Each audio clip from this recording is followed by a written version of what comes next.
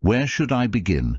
I think it's best to start from the very start, but first I want to express my gratitude to all the people here for their support. I want to thank everyone, whether you're going through a tough time, have caused pain, or have taken time to help others like me. I've been quietly observing this community for a while because I couldn't find the right words to express my pain. To be honest, I still struggle to do so. It's a weakness of mine, I suppose. Three months ago, my life was quite good, or at least that's what I believed. I've been married to my wife for a decade, since we were both 22 years old. We tied the knot shortly after I graduated from college. She used to work as a waitress, and we started dating while I was still in college. I pursued a career in law enforcement and quickly moved up the ranks, eventually requiring me to travel a few times each year for my job. We were just starting to plan for our first child. My wife had her own pursuits mainly taking care of our home, working a few days as a waitress, and enjoying various arts and crafts hobbies on the side. She had a creative spirit and was always engaged in artistic activities. I was always supportive of her interests and didn't worry about whether she had a full-time, regular job. It felt like she was deeply in love with me, and I was certainly in love with her too. Otherwise, we wouldn't have decided it was time to start a family. On September 19, 2016, I left for a conference on the West Coast. I gave my wife a goodbye kiss and reminded her I'd be back on the morning of the 24th, planning to stay overnight on Friday because of events lasting until the early evening. Then, on Wednesday the 21st, I learned that the main reason for my conference attendance a couple of important talks by a respected expert in the field, got cancelled due to illness. I thought about calling my wife to let her know I'd be back early, but I changed my mind. I decided to surprise her with flowers and a gift instead. So, I flew back on Thursday the 22nd. I went to a jewellery store and the florist, and I called a restaurant she liked to make a reservation. Afterward, I headed home. When I arrived at our house, I noticed a familiar car parked on the street. It was the car of the young man who looked after our pool, so I didn't pay it much mind. I went in through the side door and stepped inside our home. Right away, I sensed something was off. I heard a commotion from the other side of the house. In my head, I thought, the side door was unlocked. I can hear my wife making noises from the bedroom area, and there's a lot of movement in there.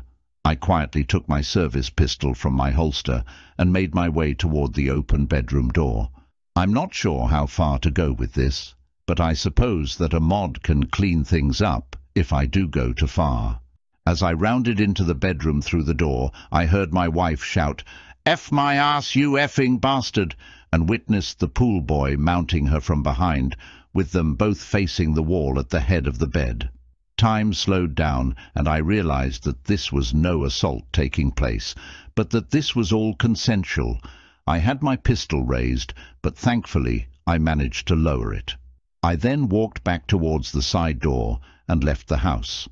I called a fellow law enforcement officer, Elio, to come pick me up because I wasn't in a state to drive. Despite all the tough situations I've been in during my career, this was different. It left me incredibly shaken. When I first entered the house and heard the commotion, I left the flowers on the table and had my gun drawn. I did this to avoid alerting my wife to my presence. For over an hour, I didn't contact my wife. My colleague at the department helped me, telling her he didn't know exactly where I was but assured her that I was physically fine and would talk to her when I was ready. All I know about those days is that she tried reaching out to everyone she knew, getting more and more worried as time went on. On the 26th, I emailed my wife. I let her know that I had left the flowers for her, that I was filing for divorce, and that she should expect an officer to come to our house to collect department property, like firearms and my personal belongings, such as clothing. I ignored her replies. I also had the department change my phone number because her calls and texts were becoming overwhelming, and I needed to stay firm in my decision. I made sure everyone who needed my new number was informed. Interestingly, I had a month of paid leave that we had planned to use in December for a vacation to start a family. Plans were made and then broken, so the department allowed me to take that leave immediately. I left town for a month to get away from everyone and spend some time alone. I found this community while on a remote beach. I want to let you all know that the sadness, anger and fear that you've experienced, both now and in the past, served a purpose you didn't know about. You are my source of strength. Even though I may have appeared strong on the outside, deep down, I'm not completely strong. Many thoughts have crossed my mind since that moment in the bedroom doorway. These thoughts ranged from a sudden surge of anger and the urge to do something terrible, to profound sadness and hours spent examining myself, accompanied by feelings of guilt. My wife was not the same person I saw in that bedroom with the young pool boy, engaging in such a disturbing act. It was a behavior we never explored ourselves, and it was something I had no idea she was interested in. I questioned if I failed to meet her needs. She never explicitly asked for such a thing, nor did she drop hints, even though she was quite open about suggesting new things. Frankly, I never even considered doing something like that to her. I don't know if I could. We had our share of fun activities, but this one didn't seem fun to me. I suppose I won't ever have to grapple with that hidden desire of hers. I haven't directly spoken to my wife during this entire time, except through that one email. A couple we both know, who are friends with us, keep in touch with both of us. My wife has a lot to say, but I have very little to share. I've initiated the divorce process, but I'm holding off on serving the papers until I've thought through every detail. By that, I don't mean I'm considering reconciling, but I want to be prepared for any possible consequences. I dislike surprises and try to minimize any unintended effects.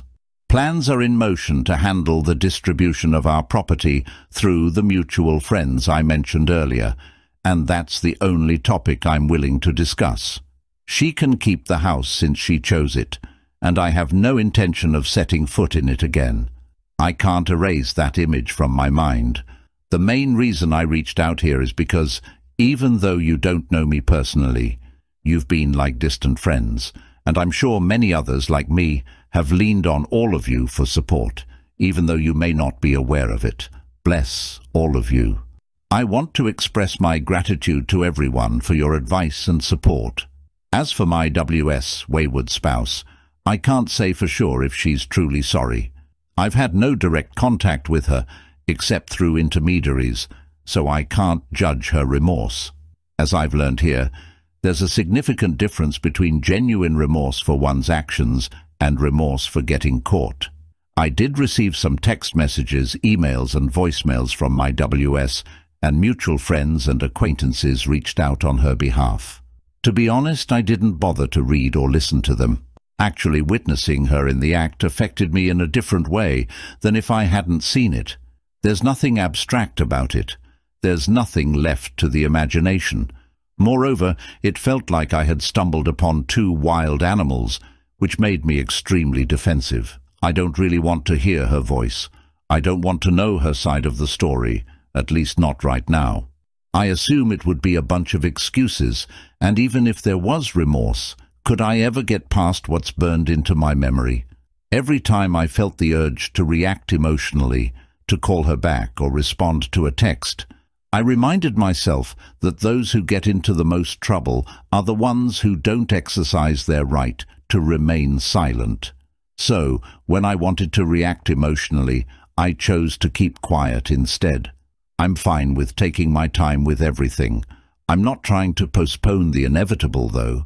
I am definitely careful about not getting caught up in unproductive thoughts.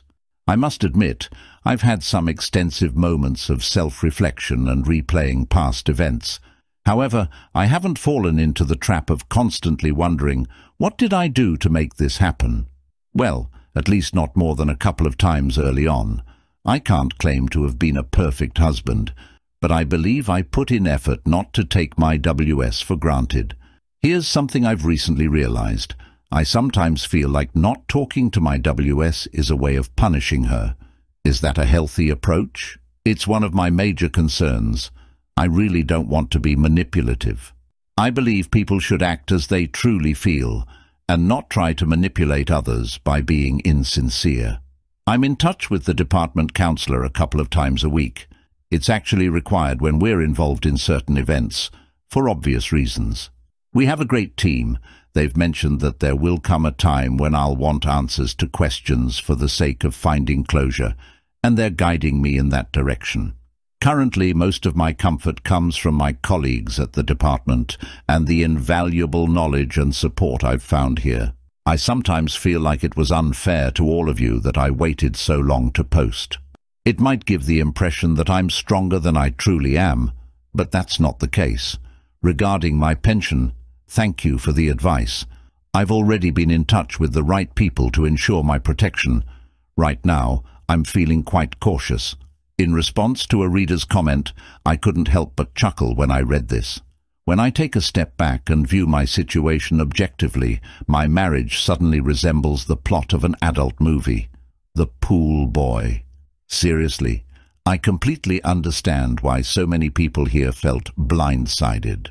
We went on with our lives, many of us never imagining that the person we loved deeply, the person we were unwaveringly loyal to, wasn't on the same page with us. I wish I didn't have to witness everything and could have found undeniable evidence instead. It's akin to witnessing a murder rather than having to prove everything afterward, Right now, I find it challenging to justify wanting any answers at all. It's comparable to dealing with a death.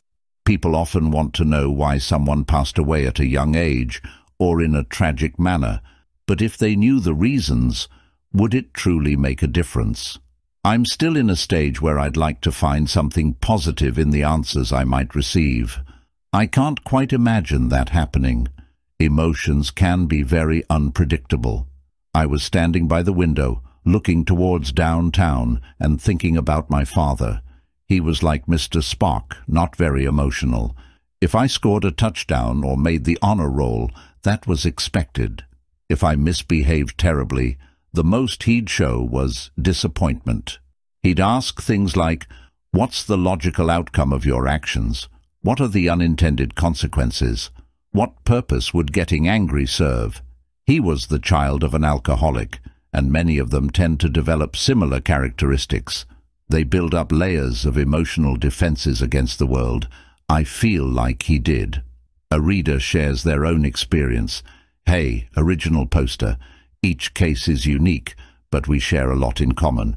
I also worked in law enforcement and walked in on them having sex. I left the apartment, finished the remaining four hours of my shift, and then went to my brother's place to sleep. Despite staying extremely composed and focused from the moment I realized what I was about to witness, I must admit that I sat in my car for a few minutes with my gun in hand, wondering about things I shouldn't have. Thankfully, I dismissed those thoughts. Back then, almost 30 years ago, the idea of department counselors and PTSD was unheard of. I was fortunate to have my colleagues support me, and I had an experienced senior lieutenant who took me aside the following Monday. He told me he was putting me on desk duty for a couple of weeks and asked for my service pistol. I got it back a week later and was back in the field. For me, work became therapeutic. I could zone out and focus on my tasks, and during those eight, twelve hours, I wouldn't think about her, I also made the decision that this marked the end of the relationship. She attempted to talk to me, offering various reasons and justifications for what happened and why it shouldn't affect us. I made it very clear that I wanted to end things, and I never changed my mind.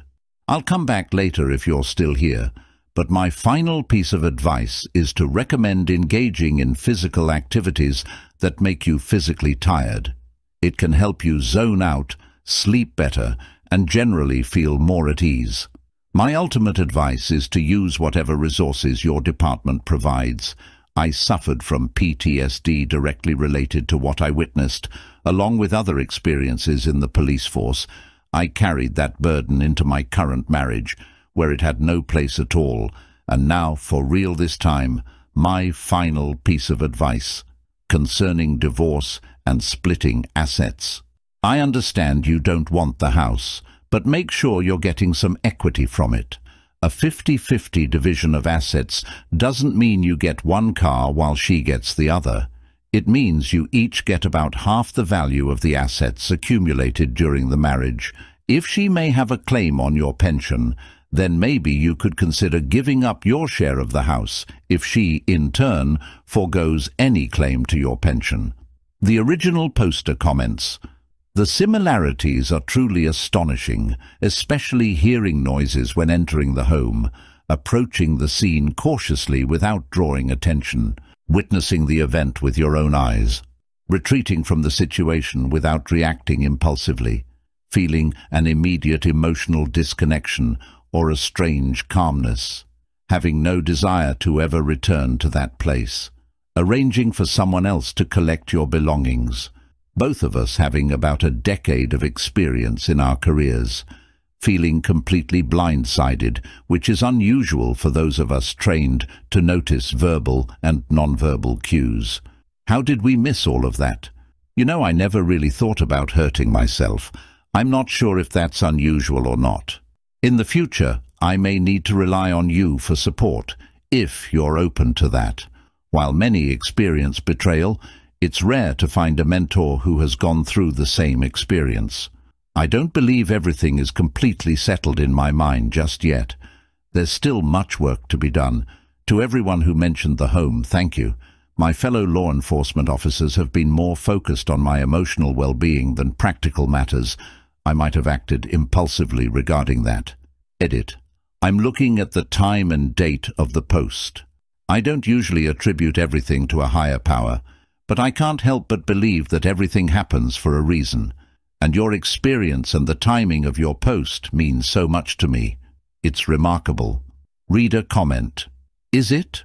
Or is it your way of maintaining your sanity and self-worth?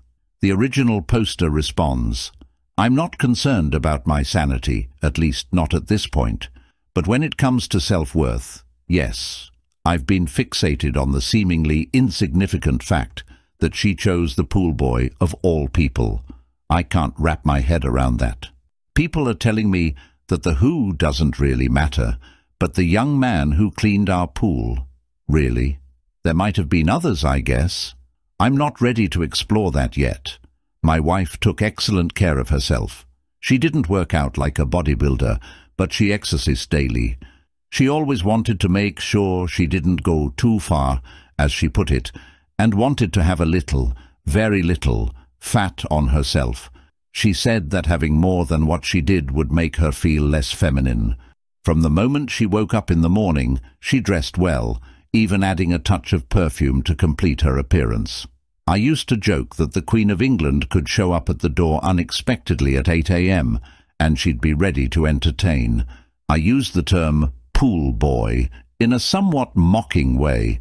I would have never referred to him like that to anyone before. However, he was the complete opposite of my wife, often untidy and sweaty, and sometimes he showed up smelling like the bar he visited the night before. Yes, my thoughts have ventured to a place where I wondered why she chose someone like him. I always end up with the thought that only she knows why. Maybe that's a question I'll ask if I decide to ask any questions at all. To those who have said that I seem composed or have it all together, thank you. Unfortunately, I don't.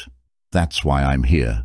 Being my father's son, I learned to suppress my emotions and keep things buried deep inside, so deep that he didn't even understand himself very well. That, coupled with the fact that I waited so long to post here, might give people the wrong impression about who I am.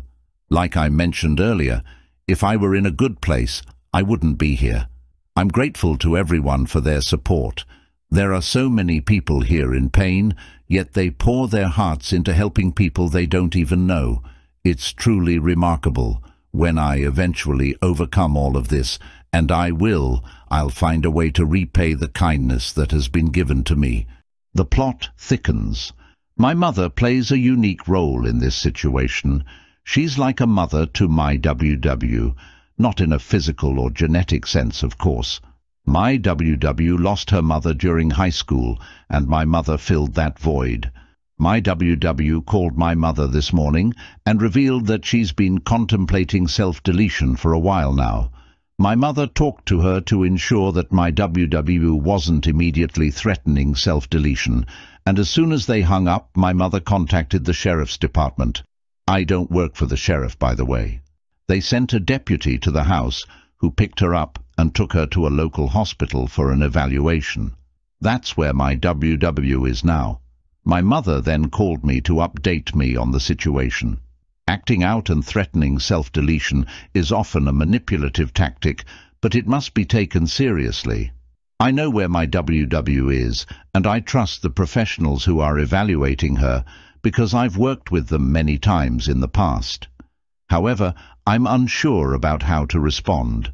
Initially, I felt the urge to rush over there, with my eyes on her, and see her for myself, even though I've been avoiding direct contact with her. Currently, I'm holding my ground and waiting for the results of the evaluation. She's in capable hands, and I'll be informed of her condition after the assessment. I'm certainly as hurt as anyone who has been betrayed by someone they had complete trust in. I don't want her to die because of this. It's frustrating when people use the I'll kill myself card because most of the time it's a bluff. However, calling that bluff can have serious consequences. Has anyone experienced a situation like this before? I've always been on the outside looking in during such incidents, as it was my job. This time, I'm dealing with it voluntarily, I suppose. A reader responds, I've been reading your posts and following your story, but I haven't had much to contribute until now. You and your mother handled the situation exactly how it should have been handled. You should continue to hold the line. If you go and see her now, it will only reinforce that if she threatens to hurt herself or actually does, it will bring you to her. I learned this the hard way. Unfortunately, I have too much experience with self-deletion. My brother deleted himself. I had thoughts of deleting myself from my early teens through my early twenties. My mother attempted to delete herself twice. My stepmother has used threats of self-deletion as a manipulation tactic several times. My mother comes from a family with a history of mental illness, personality disorders, self-deletion, and, of course, affairs. I've been in individual counseling for three years, and dealing with situations involving threats of self-deletion has been a topic I've worked on. Due to my past experiences, I'm easily vulnerable and manipulated by self-deletion threats. The plan I have in place going forward is to remove myself from the situation and call 911. Let the professionals evaluate the situation. You and your mother did exactly that. Of course, you're concerned for her. How could you not be? You're not a robot. However, she needs to understand that such actions will only push people away not bring them closer. It's best to maintain no contact for now. Perhaps someday, when the timing is right for you, you can initiate contact with her. But now is definitely not the right time. The original poster responds, I'm sorry to hear about the challenges you've faced in your life. I appreciate you sharing your experiences with me and everyone here. I'll be cautious in how I handle this new development. At this point, there's not enough information for me to react. A reader comments, It's probably best to maintain no contact, but I'd be tempted to tell her, Why are you contemplating self-deletion? You already have a boyfriend that you apparently like a lot. I mean, really, what did she expect? What kind of person does this and then expects their spouse to want to be with them? Yeah, yeah, she didn't expect to get caught. So what? She still made these decisions. I understand why you don't want to listen to her. She might either say she made a mistake or find a way to blame you, like you were distant, blah blah, or the latest excuse of the day, he was so persistent. Why would you want to hear any of it? But then again, she was your wife for a number of years. How could you not eventually want to see her and hear what she has to say for herself? I mean, is she still in contact with the pool boy? I really have no advice for you. I think you're doing the right thing. The original poster shares. I have no idea if she's been in contact with the OP. I assume she might have, but it doesn't mean much to me right now because I don't intend to get back together with her. In fact, now that you've mentioned it, I've deliberately blocked the I wonder what she's doing train of thought until now. Yeah, I don't think I want to go there. It's an unpleasant thought. Mutual contacts know not to share her drama with me, and those who persisted eventually got the message stop. My mother felt that this incident went beyond drama and called me after she handled the situation herself. Hello, everyone. I've read all of the posts and I'd like to address them all, but it's very hectic around here. Most of it may not matter all that much anyway. My wife was held over the weekend for testing and observation. I spoke with her early this morning for around 30 minutes with my mother and a psychiatrist present. Her physician came and went, but the psychiatrist and my mother stayed for the 30-minute session. The OM that I witnessed her with was not the only one. She remembers two others in the last six months. Remembers. Along the lines of her infidelity, that's about as far as we got in such a short amount of time. It appears that my wife may have one or more medical issues affecting her behavior. I spent 30 minutes with her, but over an hour with her physician and psychiatrist. They asked me numerous questions about her habits and behaviors. During the session, some odd behaviors she displayed in recent times came up while I was being questioned. At the time, these behaviors didn't have a significant impact on me, but my responses seemed to provide the doctors with valuable insights. They also explained that my wife might not always be in complete control of her behavior, and we will learn more about the situation in the next week or so. They emphasized that they were speaking in general terms because they were not entirely sure about the nature of the issue. They have scheduled a series of tests for early tomorrow morning to follow up on the ones conducted over the weekend. These tests include an MRI of her brain as the neurological examination they performed after the initial interview raised more questions. They also discovered a dark spot in her brain when they injected dye during an angiogram, and dark spots can sometimes indicate tumours. After my meeting with the doctors, my mother and I had a discussion. She mentioned that I have a responsibility to support my wife if her actions are indeed a result of medical problems. I'm uncertain about how to feel, but I won't abandon her if she's ill. Have you ever been in a situation where you have so many emotions that you can't separate them individually? That's where I am right now. What a complicated situation. I'll make an effort to respond to everyone soon. I appreciate your support. I haven't had enough time with the doctors to discuss my numerous questions, and they haven't had sufficient time to reach any conclusive diagnosis, if there's even something to diagnose. I expect that things may become clearer in the next week or so. In response to a reader's comment, no. There is almost no medical condition that so overwhelmingly impairs a person's ability to choose to engage in a sexual affair that they cannot control it. If she truly had one of those psychological conditions that prevent personal choice, it would profoundly impact every aspect of her life, and she would be the subject of medical studies and papers due to the extremely rare nature of such conditions. You work in law enforcement, and you know how rarely the insanity defense actually succeeds, right? The answer is almost never. If she was capable of planning these encounters around your schedule when she thought she could get away with it, then she had the presence of mind to know she shouldn't have been doing it. Do not let her off the hook using an insanity defense with you.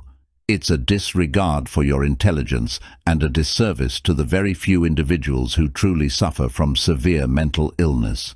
If she could plan, hide, and lie about it, she had the capacity to choose.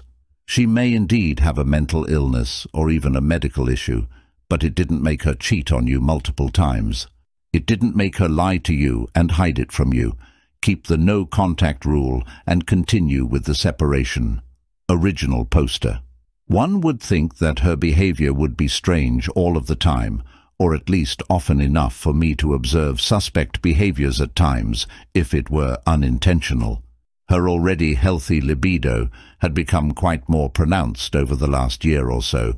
But what man is going to suspect his wife when she wants more time in the sack with him? Even so, I can't remember a time when I turned her down. So many questions, yet so few answers at this point. Medically speaking, my wife is fine as well.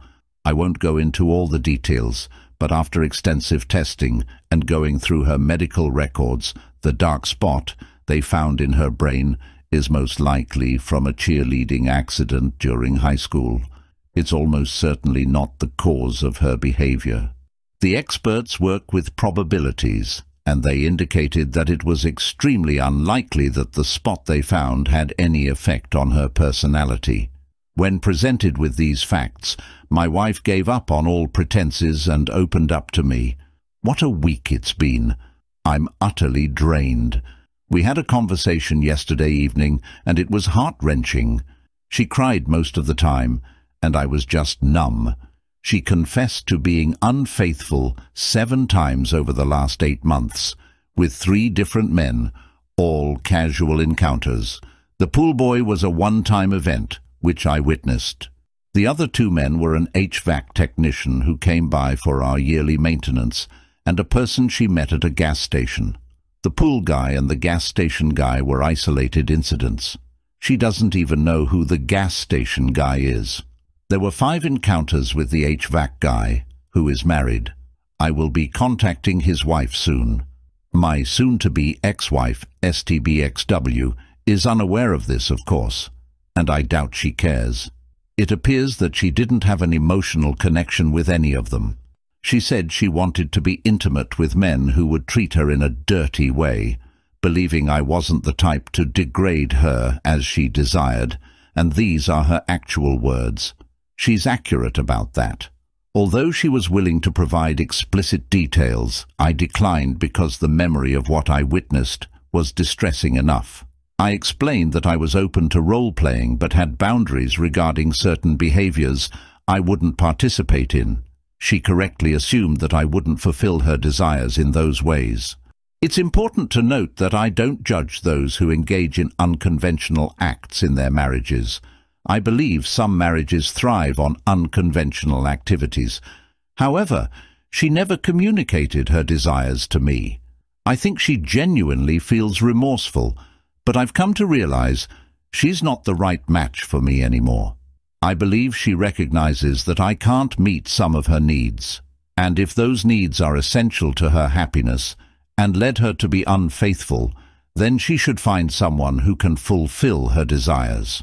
Essentially, I told her it's best for both of us to move on, and after some negotiation, she reluctantly agreed. While she claims to have used protection during each encounter, and the incident I witnessed supports her claim in that case, We've both been tested for STDs. The initial tests show negative results for any infections, but I'm still awaiting results from a couple of additional tests. I acknowledge that I should have gotten tested months ago, and it was a significant oversight on my part. We had many discussions, but I'll refrain from writing a lengthy post. If you have any questions, please feel free to ask. I feel indebted to everyone here for helping me through this challenging time. We've decided to proceed with an uncontested divorce. And just for fun, I'll add that I'm planning to take on the pool boy, the heating and air guy, and the gas station dude after the divorce. Joke, I have no intentions of doing anything of the sort. I'm heartbroken, but all I can do now is find humor, love those who support me, and spend time with my law enforcement family and the wonderful people here who have been by my side. God bless all of you. Reader, comment. I'm glad you're finding some closure in all of this. Can you share some information about what your wife was doing during the period when you had no contact with her? Did she make an effort to improve herself? Did she take any actions to show remorse or regret? If it's too difficult to answer, I understand. Original poster. These are excellent questions. I don't have complete information about what she was doing during that time. For all I know, she could have been having men over to our house, although I highly doubt it, considering my extensive network of law enforcement colleagues, some of whom frequent that neighborhood. I do know that she spent a lot of time with my mother, went to the gym daily, verified by witnesses who saw her there during their workouts, and spent time with a few couples who are our friends. Other than that, I didn't intentionally track her activities, so I can't provide more details. First and foremost, I want to make it clear that I'm not interested in reconciliation.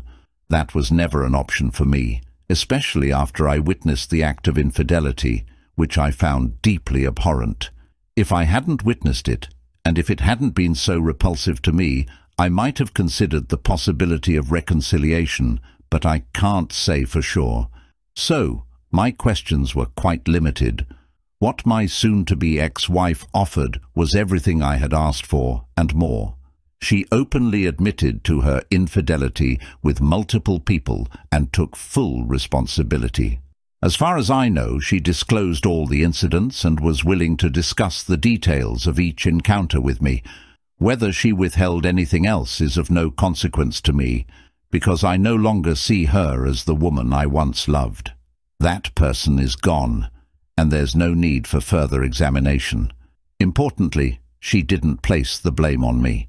She acknowledged that I wasn't meeting her sexual needs, but she owned up to her part in it and expressed remorse, apologizing repeatedly. She has started individual counseling, IC, to understand herself, her motivations, and whether her actions were related to any psychological issues or simply personal choices. I understand that many people might suggest various measures like a verification after cheating, VAC, polygraph tests, no contact demands, and so on. However, those measures don't apply here because I've already moved on emotionally. I didn't need to verify her current actions or whereabouts. I mainly wanted to have a candid conversation with her, hoping to part ways amicably. I don't want to have any more association with this new person than necessary because she reminds me of the old person, and that just makes me miserable. It's like I was married to a woman. She's gone, and now I have to deal with her troubled twin regularly. That's how I see it. I don't wish for her to be unhappy, but I also don't want to be unhappy while trying to fix something that's irreparably broken. The vivid image of what I witnessed keeps flashing in my mind every time I imagine us being together again, attempting to mend things.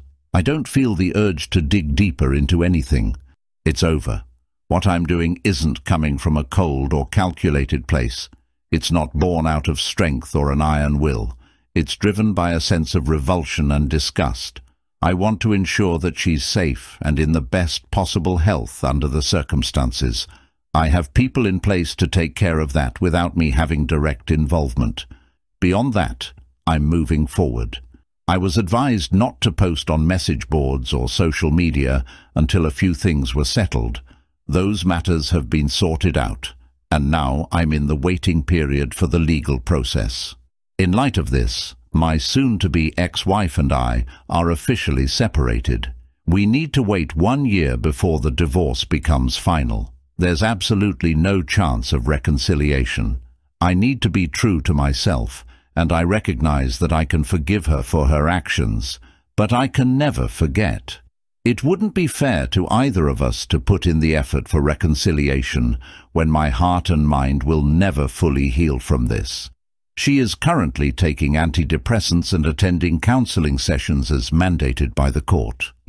Furthermore, I've rented her an apartment that's about 35 miles away from our once happy home. I've kept the house for myself, and this distance is intentional as I want to avoid running into her in our town. I'm also providing her with financial support until she can secure a better job.